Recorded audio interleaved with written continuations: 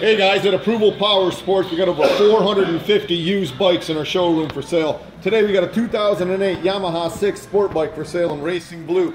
We got this thing priced to move $139 a month. It won't be here long.